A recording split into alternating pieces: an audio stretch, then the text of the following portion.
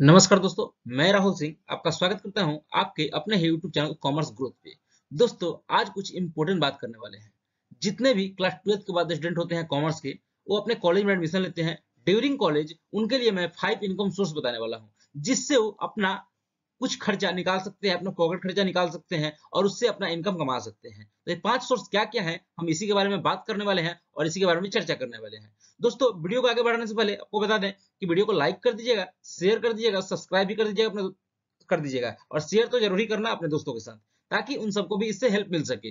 अपने इनकम को डिसाइड करने में हम कैसे अपना पार्ट टाइम इनकम कमा सकते हैं मतलब कि कुछ पैसे निकाल सकते हैं अपने पॉकेट खर्चे के लिए ड्यूरिंग द कॉलेज ठीक है? तो दोस्तों, चलिए इसके बारे में हम लोग बात करते हैं एक एक करके। तो क्या क्या सोर्स हो सकता है? इसके बारे में देखेंगे। हम लोग फाइव सोर्सेस देखने वाले हैं यहाँ पर कि क्या क्या पाँच सोर्सेस हमारे लिए हो सकता है। चलिए पहला सोर्स देखते हैं क्या है।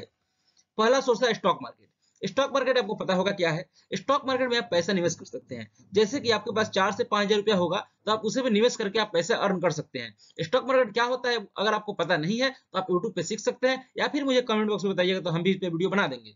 ठीक है? दोस्तों तो स्टॉक मार्केट में भी आप पैसे लगाकर पैसा कमा सकते हैं।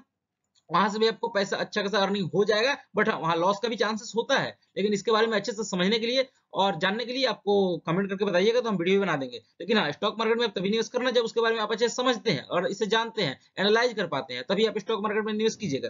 दूसरा ऑप्शन क्या है? आपके पास दूसरा ऑप्शन है यहाँ पर म्यूचुअल फंड म्यूचुअल फंड भी एक स्टॉक मार्केट की तरह ही होता है, लेकिन इसमें कुछ अलग मतलब स्टॉक मार्केट से थोड़ा ही अलग होता है, इसलिए अलग होता है, क्योंकि इसमें इंटरमीडिएट आ जाता है म्यूचुअल फंड कंपनी आ जाता है। म्यूचुअल फंड कंपनी क्या करता है? आपके पैसे को लेकर स्टॉक मार्केट में खुद वो लोग इन्वेस्ट करते हैं। मतलब कि जो म्यूचुअल फंड कंपनी है, इसके पास जो आदमी है, वो कहीं ना कहीं बहुत ही एक्सपर्ट बैठा हुआ है, ठीक है? वो बहुत सारे नॉलेज लेकर बैठा हुआ है स्टॉक मार्केट का। तो आपका पैसा वो गेदर करता है, लोगों से लेता है और वो इन्वेस्ट करता है कंपनी में। तो कहीं ना कहीं यहाँ पर आपका जो रिस्क है, वो कम हो जाता है, यानी यहाँ पर मॉडरेट रिस्क हो जाता है हाई रिस्क नहीं रहता है। तो आप म्यूचुअल फंड में इन्वेस्ट कर सकते हैं। यहाँ भी आप तीन चार या पाँच या छह से स्टार्ट कर सकते हैं और कुछ पैसा अर्निंग कर सकते हैं। स्टार्ट तो कीजिए कम से कम। स्टार्ट कीजिएगा तो फिर अर्निंग स्टार्ट होना शुरू हो जाएगा। तो स्टार्ट करना बहुत ज़रूरी है।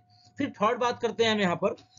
थर्ड है हमारे पास होम ट्यूटर अगर दोस्तों आपके पास अच्छा खासा नॉलेज है अगर आप पढ़ाई अपना अच्छे से किए हैं तो आप घर पे होम ट्यूशन का दे सकते हैं ठीक है? आप होम ट्यूशन करा सकते हैं। स्टूडेंट को छोटे स्टूडेंट को होम ट्यूशन करा सकते हैं। इलेवंथ को ट्वेल्थ को होम ट्यूशन करा सकते हैं। अगर आप, आपके पास अच्छा खासा नॉलेज है तो ठीक है? या फिर इंडिविजुअल सब्जेक्ट का भी आप ट्यूशन दे सकते हैं। जैसे कॉमर्स में आपके पास अगर मान लीजिए आपका बीएसटी अच्छा है तो आप बीएसटी का सिर्फ़ ट्यूशन दे सकते हैं। अकाउंट्स अच्छा है तो सिर्फ़ अकाउंट्स का ट्यूशन दे सकते हैं। होम ट्यूटर बन सकते हैं।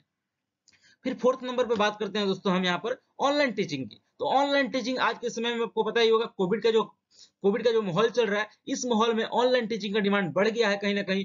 ऑफलाइन लोग जाना नहीं चाह रहे हैं, क्लास करना नहीं चाह रहे हैं तो कहीं ना कहीं ऑनलाइन का जो स्कोप है वो बढ़ रहा है। तो आप ऑनलाइन टीचिंग कर सकते हैं। आप एक यूट्यूब चैनल भी ओपन कर सकते हैं ऑनलाइन टीचिंग करने के लिए तो आप वहाँ से भी अपना स्टार्ट कर सकते हैं। आप स्टार्ट करते ही आप अर्निंग के बारे में मत सोचिएगा। कहीं ना कहीं आप स्टार्ट कीजिए। स्टार्ट कीजिएगा तो फिर अर्निंग के लिए आपको मौका आगे मिलेगा। तो स्टार्ट करना बहुत ज़रूरी है।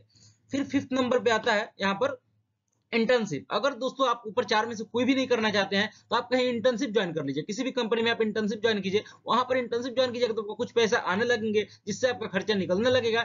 और उसके बाद आपका, आपको सबसे बड़ा इसका एडवांटेज मिलने वाला है इन फ्यूचर में, जब भी आप जॉब करने जाएँगे तो वहाँ पर आपको प्रिफर किया जाएगा। इसलिए क्योंकि आपने इंटर्नशिप करके जा रहे हैं वहाँ पर। तो इंटर्नशिप करके जाने पर आपको कहीं ना कहीं प्रेफरेंस मिलेगा कंपनी में भी प्रेफरेंस देगी आपको।